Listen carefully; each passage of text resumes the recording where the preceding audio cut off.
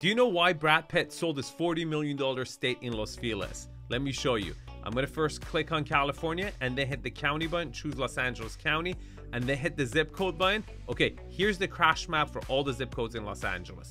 Now let's find 90027. That's Los Feliz. Okay, let's zoom in.